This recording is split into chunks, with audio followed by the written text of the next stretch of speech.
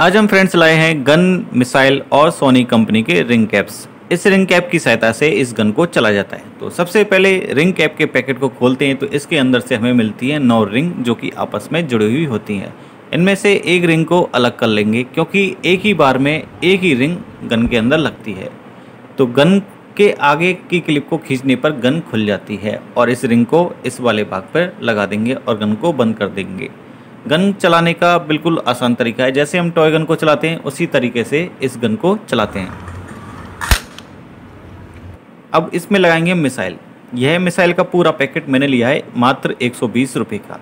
अब इसमें से एक मिसाइल निकाल कर इस गन के आगे लगा देंगे। एक ही बार में एक ही मिसाइल इस गन में लगती है। अब इसको चलाकर देखते हैं।